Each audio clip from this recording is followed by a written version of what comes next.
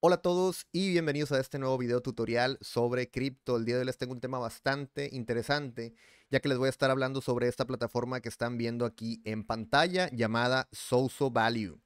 Esta es una plataforma de investigación, una plataforma de research, si lo quieren ver así, para inversores en cripto. Es una herramienta que es sumamente útil, que personalmente yo no la conocía hasta hace dos, dos días y que creo que vale la pena bastante compartirlo con todos ustedes porque todos ustedes le pueden sacar provecho a esta aplicación que es completamente gratis hasta ahorita y es literalmente el alfa del alfa porque la plataforma está en su fase alfa.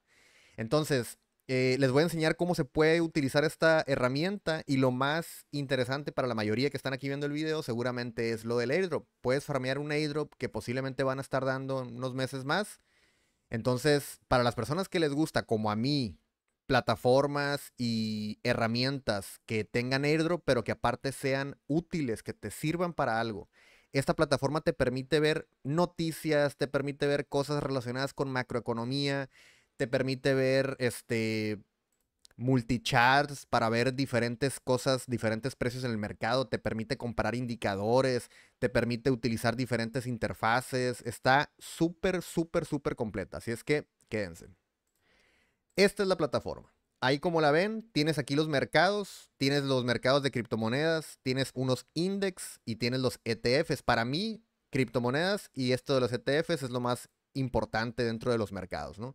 Aquí dentro del mercado de criptomonedas, pues puedes ver los diferentes sectores o las diferentes narrativas que hay dentro de cripto. Por ejemplo, si tú quieres invertir o tú quieres saber cómo está el mercado, la digamos, la sección de cripto de Layer Ones, es decir, redes capa 1, bueno, te vienes aquí, le picas y aquí te puedes ir dando cuenta, pues, cuánto ha subido, cuánto ha bajado este sector en específico dentro de cripto. Las stablecoins, podrías ver CeFi, que son estas monedas de los exchanges. Podrías ver, por ejemplo, tus memes favoritos, como van, Doge, Sheep, Pepe, WIF.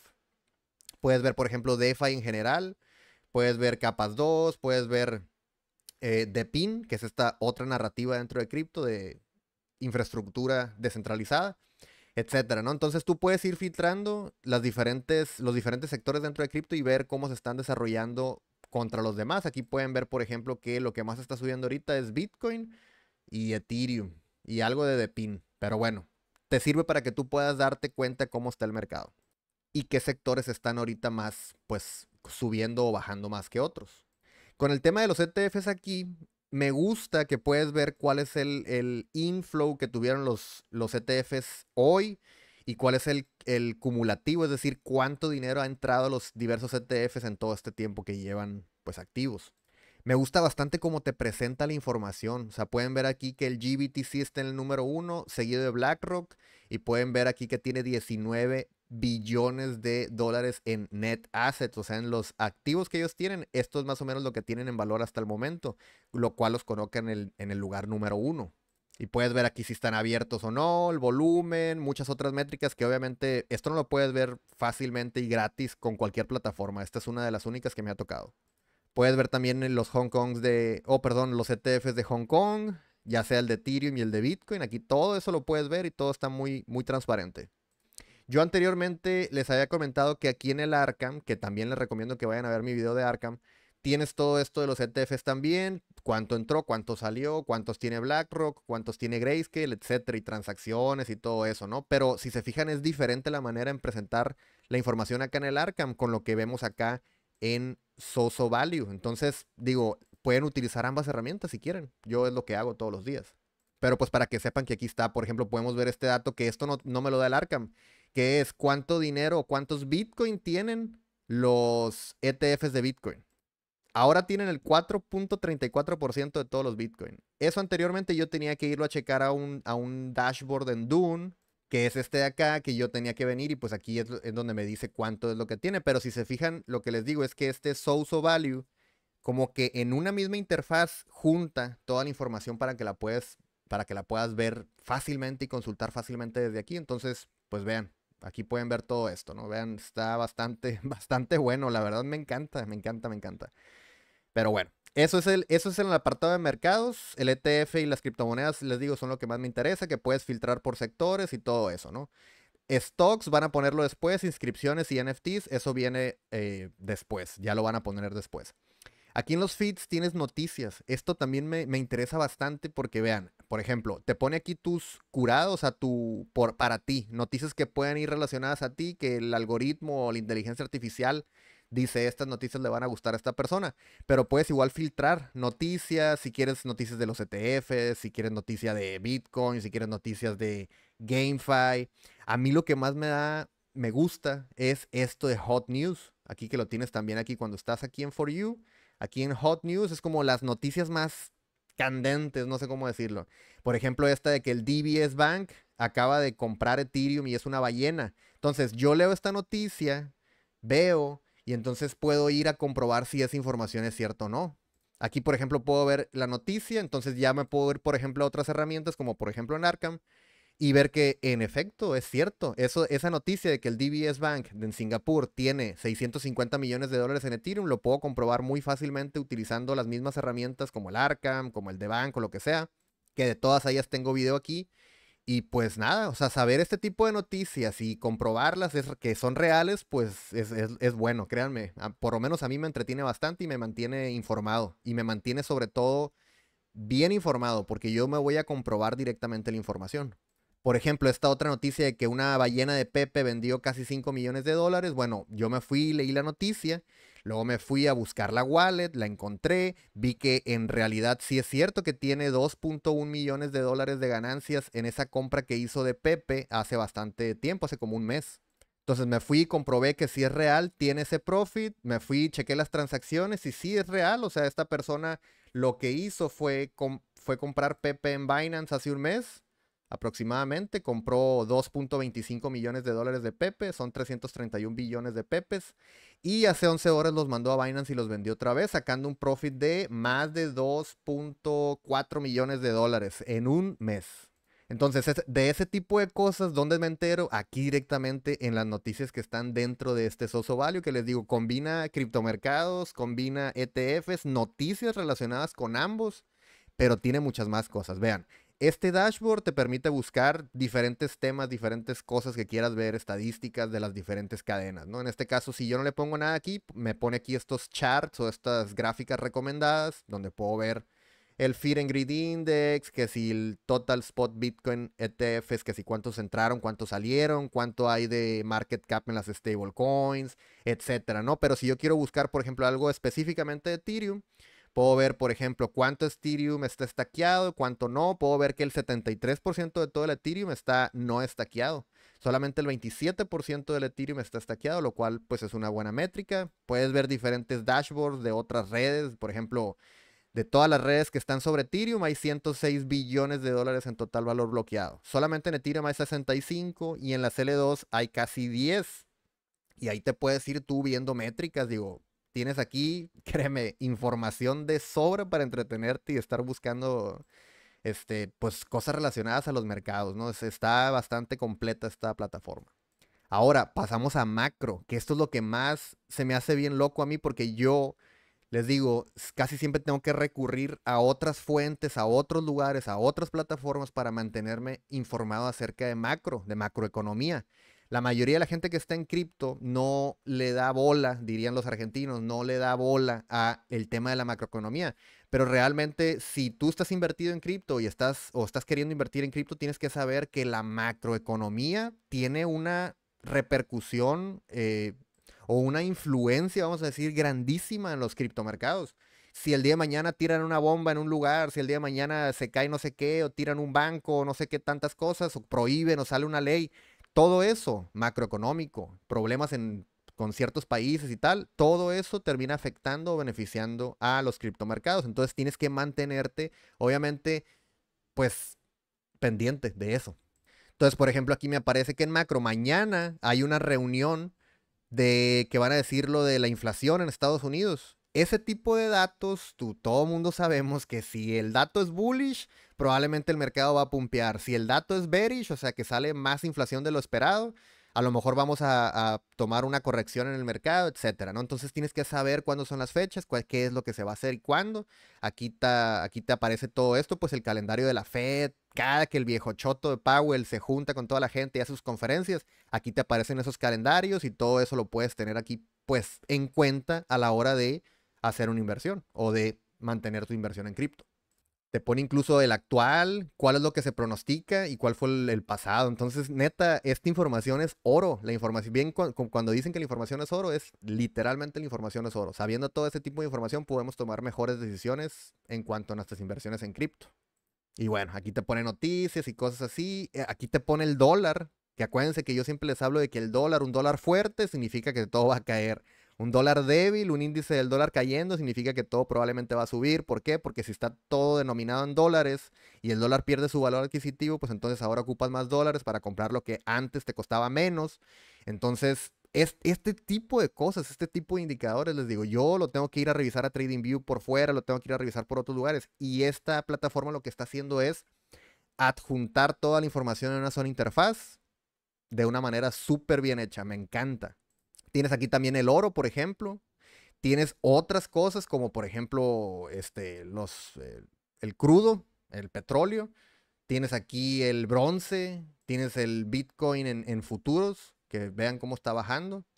Y así, ¿no? Tienes el Nasdaq, el Composite Index, el SP 500. Aquí, de este lado, voy a quitar mi pantalla aquí.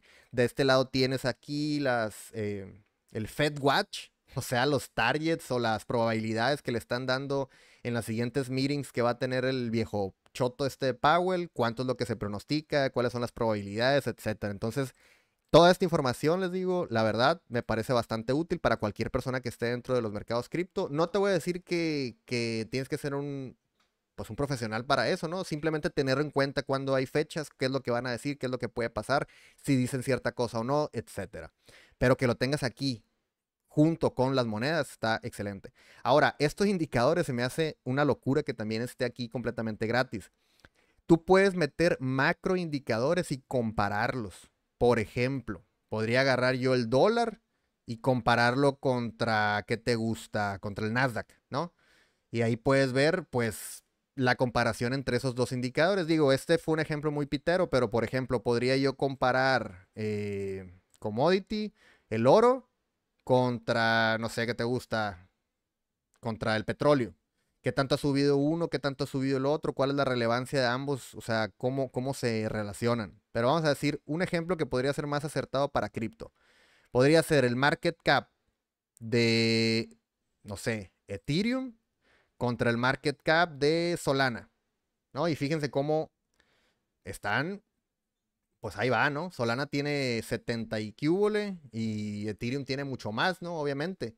Pero acuérdense que eso va cambiando, ¿no? Conforme se va inflando más Solana, conforme se va inflando más Ethereum o, deflacionando, pues ahí van cambiando esos market caps. Digo, es, solamente un, uno de los indicadores que pueden usar, pero créanme que usar esto a nuestro favor está bastante bueno. Por ejemplo, Google Trend, podemos ver qué tanto la gente ha buscado Bitcoin, contra qué tanta gente ha buscado Ethereum, por ejemplo, ¿no?